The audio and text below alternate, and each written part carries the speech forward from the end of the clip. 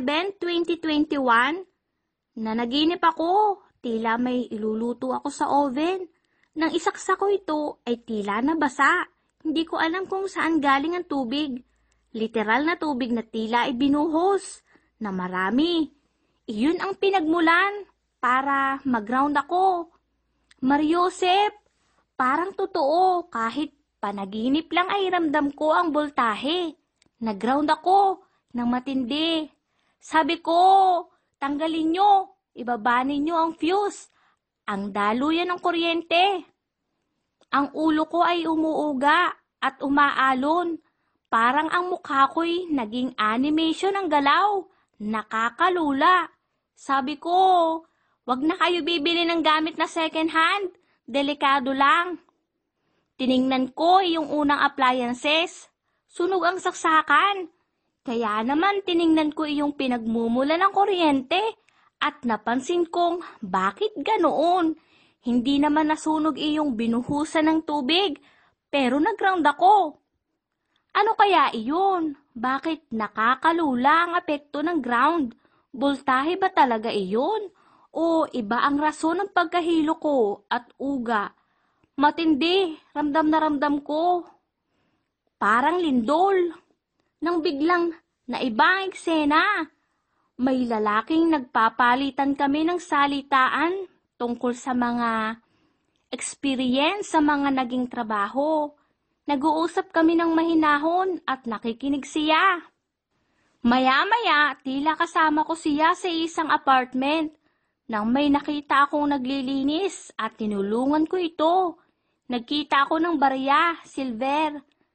Di ko alam kung magkano iyon, pinulot ko. Nang matapos na ito, maya-maya may isang lalaking lumapit sa akin. Nang hihiram ng pera, pambili daw ng pizza.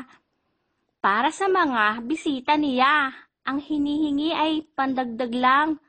Barya, kakarampot, ngunit binigyan ko ito ng buo.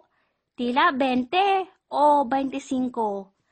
Tuwang-tuwa ang lalaki, hindi ko naman tinuturing na utang at iyon ay bigay ko na. Nakakatuwa. Nagkita ako ng bariyang silver na hindi ko alam kung magkano dahil ito'y bilang na piraso lang. Ngunit may humiram na higit pa ang aking ibinigay. Wala akong maisip kung bakit ko ginawa iyon. Ay sadyang ganoon. Magbibigay ka ng iyon ay naaayon sa puso. Maya-maya, parang naulinigan ko. May mga tao sa kwarto. Naging tatlo ang kama. May isang higaan na may dalawang lalaki. Tila may nainom na langi sa nainom. Halos di makagising. At iyong isang lalaki ay tila kilala ko. Tapos nagsalita. Sabi, okay lang ba? Aayusin ko ang kama dahil manunuluyan ako dito. Alam ng may-ari. Tugon ko, okay, ikamusta mo nga pala ako sa dati kong kaibigan.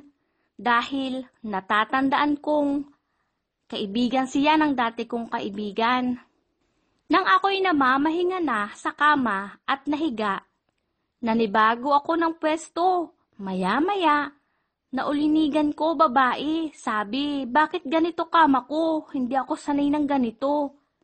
Nang may narinig din akong kagulo sa labas ng kwarto. May armado daw nakapasok. Gulo. Ang iba ata ay napatay na. Parang walang witness. Hinalughog lahat. Ako'y di ko alam kung saan tatago. Iniisip ko. Pilit kong pagkakasyahin ang katawan ko sa drawer. Ano kaya kung magpatay-patayan ako? Kahit iniisip ko iyon ay pumasok naman ang kalaban Tila para akong invisible, di ako makita. Na iyong tagpo na iyon ay nag-iisip pa ako ng gagawin. Nakita ko yung isa ay tila tinuluyan na. Habang abala ako na gustong pilit pagkasyahin sa unahan ng drawer. Tinanggal ko ang bubungan ng drawer.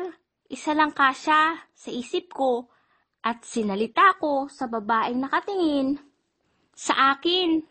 Ikaw saan ka magtatago? Isa lang kasya dito.